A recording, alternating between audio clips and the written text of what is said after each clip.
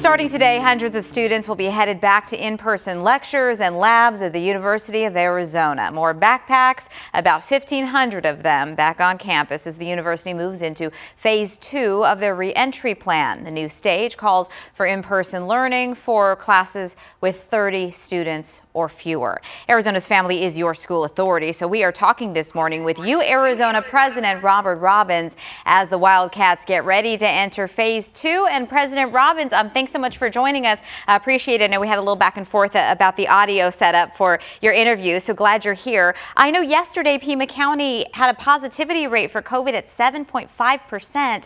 So the trending with COVID is going in kind of the wrong direction, just as you're about to embark on this next phase for the university.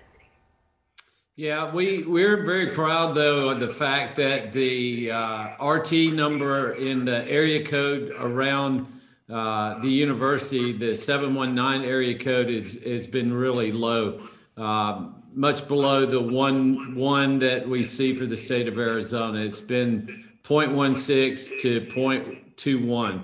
So we think uh, at least around the university, we've gotten uh, good mitigation and control of the uh, transmissibility of this infection.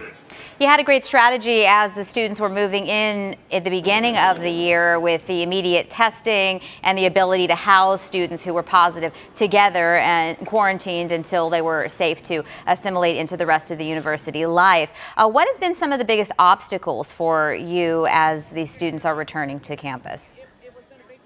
Well, it's the uh, the large gatherings that we've seen off campus. Uh, you know, during the time when we had the surge, we we had reports from uh, neighborhood associations and residents around the university of these really large gatherings, up to 300 students gathering off campus. And we we know uh, from across the nation that these large gatherings are super spreader events.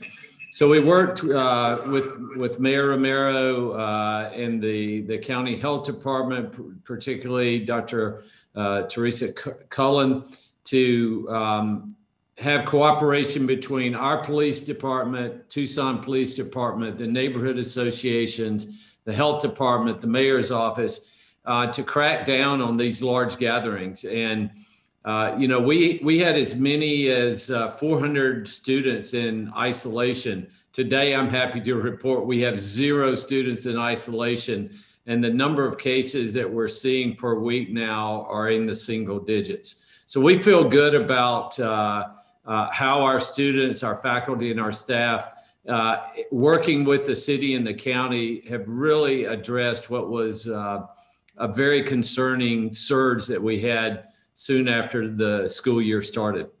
President Robbins, just uh, less than a minute left. I know you made the call about canceling, in essence, spring break. So what's the feedback been and what motivated that decision? Well, the same thing that we'll get into uh, with the with the break uh, uh after the fall term. We're really encouraging people uh, not to travel because we know that if you if you get on an airplane and travel, uh, go and congregate with friends, families uh, and then travel back. There's so many opportunities to spread this deadly virus uh, that we would prefer that people, at least for the, the fall break, uh, stay at home and take the remainder of their courses online. And for spring break, do the same. Not travel uh, to traditional sites like the beach or Las Vegas or wherever. Uh, let's wait until next year uh, and skip it for this year uh, so that we can uh, reduce the transmission of COVID 19. Have the best opportunity to keep those students learning in the atmosphere they want to be, which is uh, right there with you in Tucson. So, President Robbins, thank you so much. Thank you.